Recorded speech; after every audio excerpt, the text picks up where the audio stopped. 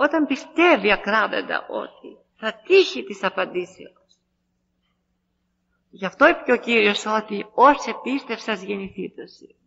Δηλαδή καθώς πιστεύει. Όπως και ο πατέρας ενός άλλου παιδιού. Όταν κατέβηκε ο Κύριος από το όρος, από την προσευχή που έκανε, ανέβηκε αυτός ο πατέρας, ο οποίος είχε, είχε παιδί και αυτός σεληνιαζόμενο και προσέπεσε στα πόδια του Χριστού μας και του είπε «Κύριε» λέει, το παιδί μου λέει σε λινιάζει και κακό σπάσει και λοιπά. Το οδήγησα στους μαθητές σου αλλά δεν κάμανε τίποτε. Βοήθησέ με ό,τι μπορείς να μου κάνεις. Ό,τι δύνασε βοήθησέ με. Πιστεύεις ότι μπορώ εγώ να σε βοηθήσω; Πιστεύεις ότι μπορώ να κάνω καλά το παιδί σου; Αν το πιστεύεις. Φοβούμενος ο φτωχός μην τυχόν και δεν πιστεύει όπως χρειάζεται και όσο χρειάζεται για να γίνει το παιδί του καλά, λέγει στον Κύριο, Κύριε βοήθη μου την απιστία, ενίσχυσέ μου την απιστία να γίνει πίστης δυνατή, ώστε το παιδί μου να γίνει καλά, εφόσον η πίστη είναι αυτή η οποία θα βοηθήσει να γίνει καλά. Και τότε ο Κύριος του είπε ότι πήγαινε και καθώς πιστεύεις θα σου γίνει. Και από τη στιγμή εκείνη το παιδί κάτω στην πόλη έχει γίνει καλά.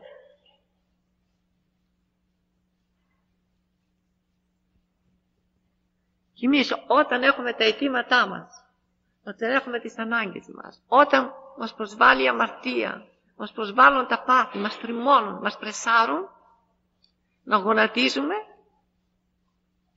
με όλη την καρδιά να φωνάζουμε ή δυνατόν οι προσευχές να ακολουθούν με δάκρυα και τα αιτήματά μας θα γίνουν γνωστά στον Θεό. Βλέπουμε και τον Δαβίδ στον ψαλμό του στον Εσπερινό που λέει το Κύριε και έκραξε προς σε εισάκουσον μου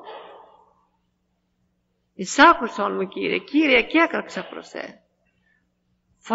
Κύριε φωνάζω σε σένα κράζω με όλη την καρδιά μου με όλη την ψυχή μου. Ας εισακουστούν τα λόγια της προσευχής μου ας έρθουν στα αυτιά σου και κάνε μου τα αιτήματά μου κατευθυνθεί το η προσευχή μου λέει ως τη μία ενώπιόν σου. Και πράγματι μια τέτοια προσευχή είναι αδύνατον να μην τύχει απαντήσεως. Αλλά οι προσευχές μας και ιδιαίτερα οι δικές μου είναι αυτές που δεν παίρνουν απάντηση. Γιατί; Γιατί όταν προσευχόμεθα ο νους μας δεν είναι εκεί Κάποιος ειδωλολάτρης παπάς, ιερεύς, είπε σε κάτι μοναχούς, όταν εσείς προσέρχεστε στο Θεό σας, απαντάει, σας απαντά ο Θεός σας. Λένε οι μοναχοί όχι. Εμένα με απαντά λέει ο Θεός μου. Για να μην σας απαντάει λέει ο Θεός σας, σημαίνει ότι έχετε κακούς λογισμούς. Και είπαν οι πατέρες, όντως έτσι έχει αλήθεια.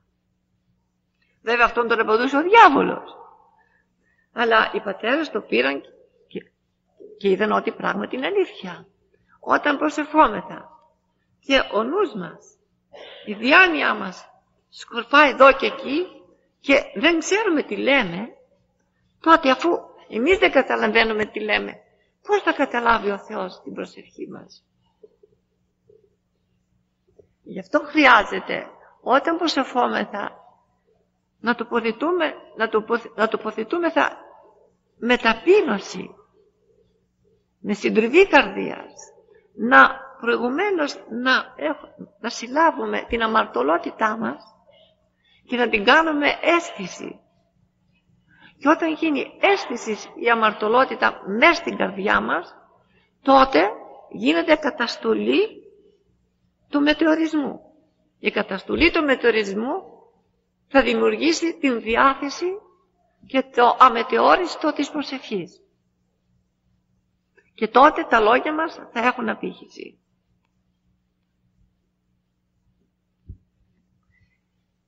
Επίσης βλέπουμε τον τελώνη και τον Φαρισαίο.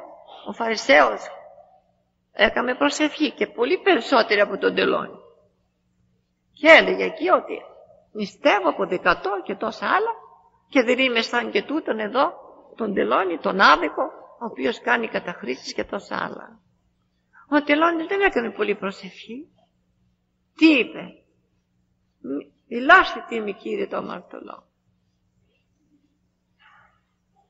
Δεν είπε πολλά πράγματα. Αλλά τι είχε η προσευχή του; Είχε το μυστήριο μέσα.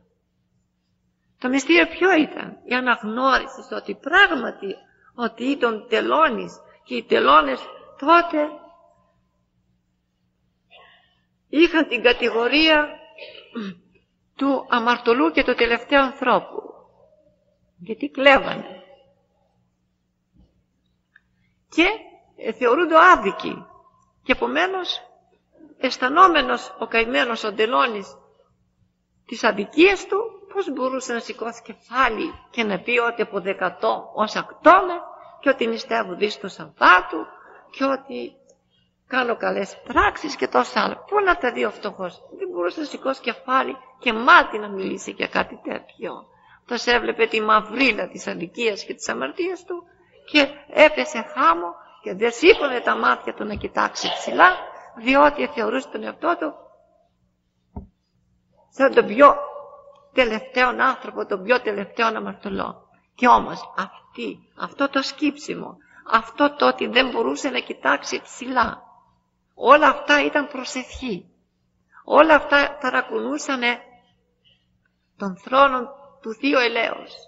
Και εκατέβηκε λέει, ο τελώνης δεν δικαιωμένος και ο Φαρισαίος καταδικασμένος. Ο μεν ήταν δίκαιος βέβαια, ο Φαρισαίος είχε τη δικαιοσύνη, έκανε πράξεις εξωτερικά βέβαια καλές, νίσταβε, αγρυπνούσε, έκανε και για το Θεαθήνη ελεημοσύνη, έκανε προσευχές στα σταυροδρόμια, σήκωνε ψηλά τα χέρια, ένεπτε τα χέρια του πριν φάγει και όλα τα τυπικά του νόμου.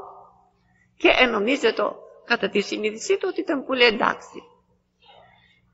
αντίστροφα δε ο Τελώνης έβλεπε στον εαυτό του ότι δεν είχε τίποτε από όλα αυτά τα καλά έργα παρά μόνο τις αδικίες του. Και με την ταπείνωση αυτή, με, ε, με το σκύψιμο, με τα μάτια χαμηλά, με την τροπή που είχε, με τον έλεγχο της συνειδήσεως που τον έτρωγε. Όλα αυτά μίλησαν και κατέβηκε δεδικαιωμένος, δηλαδή συγχωρημένος από το Θεό. Το παράδειγμα ιδιαίτερα αυτού του τελώνου μας δίνει το δικαίωμα, μας δίνει την ευκαιρία, μας ανοίγει το φως να δούμε πώς εισακούγεται η προσευχή του προσευχομένου. Όταν και εμείς έτσι προσευχόμεθα, γονατισμένοι, με δάκρυα, με ταπείνωση, με αυτογνωσία, να πιστεύουμε ότι οι προσευχές μας θα έχουν απάντηση. Το γνωρίζουμε και από την πράξη. Ας ελέγξουμε λίγο τον εαυτό μας και ας δώσουμε μία παρατήρηση. Όταν προσευχόμαστε και το μυαλό μας, ο νους μας έχει γυρίσει όλο τον κόσμο και δεν καταλάβαμε τι είπαμε, νιώθουμε καμία αλλίωση μέσα μας. Νιώθουμε ξηρασία, σαν να μην κάναμε προσευχή. Αυτή είναι η απάντηση την οποία πήραμε. Όταν η Άννα η προφήτης, η μητέρα του Σαμουήλ του προφήτου, του μεγάλου προφήτου, ήταν στήρα, όπως γνωρίζουμε από τη γραφή, και δεν είχε παιδιά καθόλου. Η άλλη γυναίκα του αντρός, του αντρός της είχε πολλά παιδιά. Και σαν στήρα γυναίκα φωνούσε. Ήθελε και αυτή ένα παιδάκι να έχει. Και ο πόνος αυτός της ψυχής του την οδήγησε στον ναό του Θεού. Ο Ηλίο, ο ιερεύς ήταν στο ιερό, στα Άγια των Αγίων και ο υπηρέτης. Η Άννα, η μητέρα του Σαμουήλ, γονατισμένη μέσα στο ναό του Θεού, γοερός, έκλαιγε και παρακαλούσε τον Θεό και από την πολύ προσευχή της και από την πολύ της δόση προς τον Θεό δεν, δεν καταλάβαινε τίποτε γύρω της. Ήταν εξ ολοκλήρω ψυχή και σώματι δοσμένη στο αίτημα. Τα δάκρυα ποτάμι, η καρδιά της φλέβουσα, η φωνή της να φωνάζει, γοερός. Και ο, προ... και ο υπηρέτης πήγε μέσα στον ιερέα τον ήλιο και του λέει τι γίνεται με αυτή τη μεθυσμένη έξω; Να τη βγάλουμε από το ναό. Όχι του λέει. Δεν θα τη βγάλουμε. Διότι αυτή η ψυχή της είναι κατόδυνος λέει. Πονάει πάρα πολύ. Και άφησέ την εκεί να χαίει την ψυχή της ενώπιον Κυρίου λέει. Και όμως αυτή η προσευχή της έφερε τον καρπόν, τον Άγιο μέσα στην κοιλία της και γέννησε τον μεγάλον προφήτη Σαμουήλο. Βλέπετε τι προσευχές χρειάζονται για να πάρουμε τα αιτήματά μας από το Θεό και ιδιαίτερα όταν είναι σοβαρά τα αιτήματα. Τόσα προβλήματα μας απασχολούν.